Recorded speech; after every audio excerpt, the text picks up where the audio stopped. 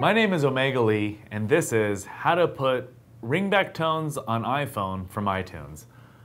I'm going to show you how to personalize what your callers hear when they call you, besides the standard ringtone that they hear. You can put your favorite song or tune, so when the caller calls you, that's what they'll hear. Now, it's going to be a little different than what you would do on iTunes, but what you're going to do is you're going to go to your carrier, whether it's Verizon, AT&T, or Sprint, and you're going to install their app on your home screen. And from the home screen, when you launch the app, you're able to actually sign in and pick ringback tones. So now that I have the Verizon Wireless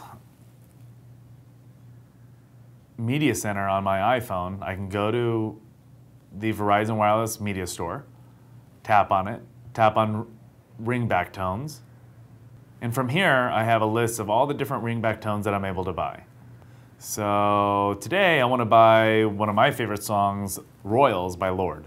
So I'll tap the 199 button and I will buy that. And once I do this, it will allow me to set the ringback tone as my default ringback tone once I pr press that button. And now I can close that. I've been billed, and that is now my new ringback tone.